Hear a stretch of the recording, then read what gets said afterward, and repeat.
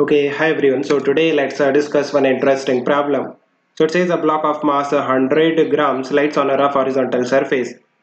If the speed of the block decreases from 10 to 5 meter per second, find the thermal energy developed in the process. Okay. So देखो हमारे पास एक block है. Mass of the block is uh, 0.1 kilogram and initially it is moving with a speed of 10 meter per second on a rough horizontal surface. And after some time इसका जो speed है, वो कितना हो गया? Five metre per second so initial kinetic energy कितना था? That is half mass into speed square so that is five joule and final kinetic energy कितना हो गया? Half mass into speed square so this will be 1.25 joule so आप देखो, जो kinetic energy है, वो डिक्रीज हो गया.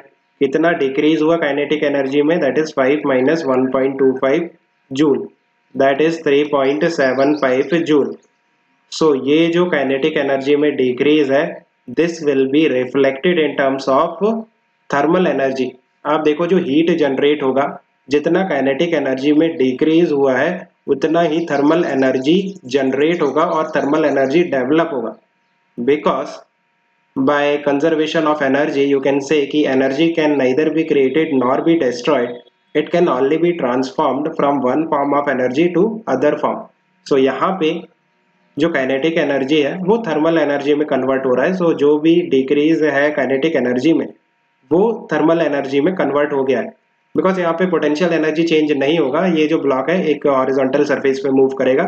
सो दैट्स वाई जो पोटेंशियल एनर्जी है वो कांस्टेंट रहेगा। So I think you have understood. Let me know if you still have any confusion. Keep working hard. Best of luck, man.